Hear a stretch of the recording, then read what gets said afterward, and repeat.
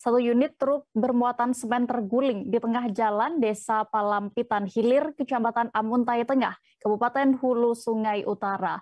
Akibatnya saat lalu lintas di simpang 4 tersebut sempat terjadi macet. Dan selengkapnya akan disampaikan rekan Reni Kurniawati, jurnalis Banjarmasin Pos yang kini sudah bergabung bersama kami. Halo rekan Reni. Iya deh.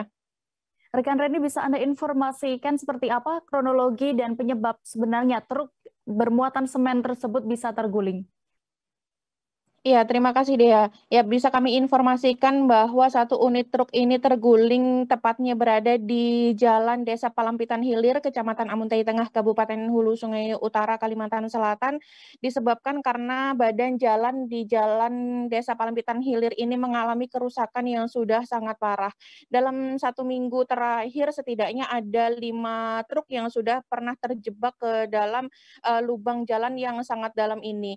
Truk ini memang tadi malam malam sempat uh, berjalan uh, mulai dari Kabupaten Tabalong menuju ke Banjarmasin uh, sekitar pukul tengah malam. Lalu kemudian karena ban sebagian belakang sebelah kiri di, uh, melewati lubang yang sangat dalam sehingga menyebabkan truk tersebut uh, terguling ke arah sebelah kiri. Beruntung saat terjadinya kejadian tersebut memang sudah dalam kondisi sepi karena sebelumnya di bagian kiri jalan terdapat banyak sekali pedagang penjual makanan yang buka pada saat malam hari. Namun karena sudah lewat tengah malam, akhirnya uh, aktivitas warga di situ juga tidak ada sehingga tidak menyebabkan uh, adanya korban akibat kejadian tersebut.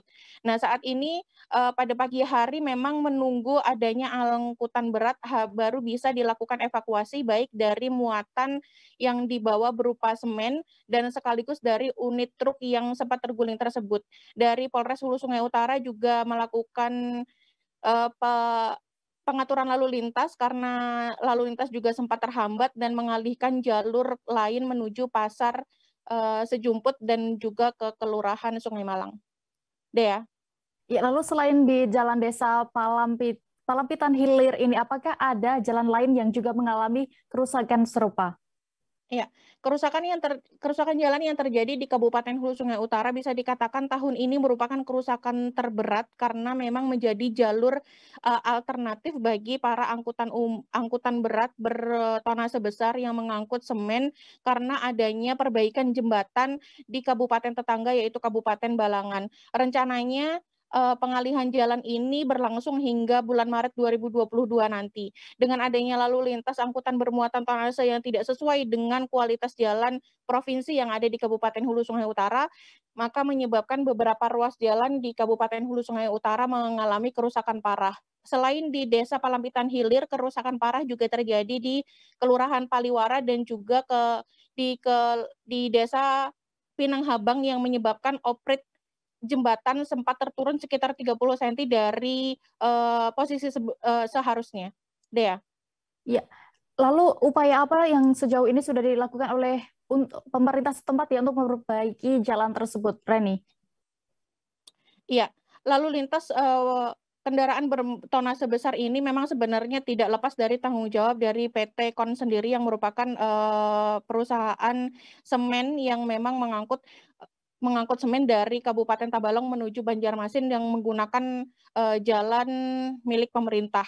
Dan untuk uh, sejauh ini dari DPRD Kabupaten Hulu Sungai Utara dan juga DPRD Provinsi Kalimantan Selatan sudah melakukan pemanggilan terhadap PT Kon sendiri, namun dua kali dilakukan pemanggilan uh, tidak ada tanggapan dari pihak perusahaan sendiri beberapa waktu lalu dari Ketua Komisi 3 Prof, eh, DPRD Provinsi Kalimantan Selatan Sahrujani juga turun langsung ke lokasi bekerja sama dengan Balai Besar Pelaksana Jalan Nasional melakukan pemantauan langsung terhadap beberapa titik jalan yang mengalami kerusakan hingga akhirnya dilakukan perbaikan jalan sementara untuk di Desa Pinang Habang, Kecamatan Amuntai Tengah.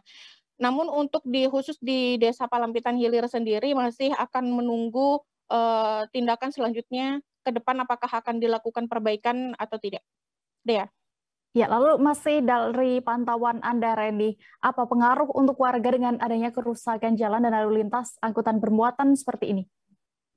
Ya, pengaruh terhadap warga Kabupaten Hulu Sungai Utara sendiri pastinya sangat banyak, selain juga mengurangi kenyamanan dari lalu lintas warga juga beresiko menyebabkan kecelakaan bagi pengguna jalan yang melintas di Kabupaten Hulu Sungai Utara. Selain itu juga mengurangi pendapatan dari para pedagang yang berjualan di sekitar pinggir jalan desa yang mengalami kerusakan.